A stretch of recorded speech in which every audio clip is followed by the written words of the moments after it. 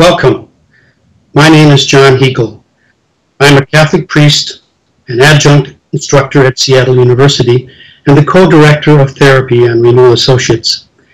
In my ministry as a priest and a counselor, I have often been confronted by the tragic reality of domestic violence and sexual abuse. On a pastoral level, I've tried to do all I can to intervene, to stop the violence, to find safety and healing for the victims, and to call the perpetrators to accountability.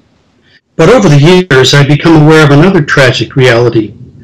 I discovered that many victims of gender violence do not report it. They do not seek help. They suffer in silence.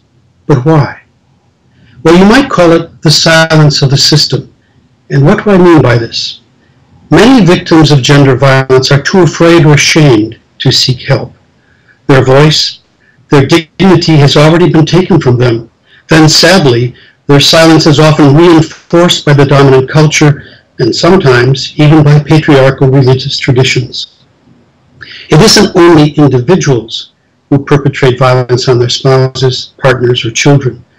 They do so sometimes because their cultures or their spiritual traditions fail to advocate for the vulnerable. Sometimes these religious traditions even use the Bible or other sacred writings to directly or indirectly justify gender oppression. It is this systemic form of violence that most concerns me now. In addition to counseling victims and survivors of gender violence, I feel that I have another task.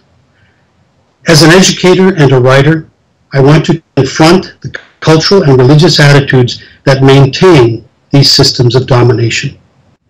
As a Christian, I believe in the radical dignity of every human person.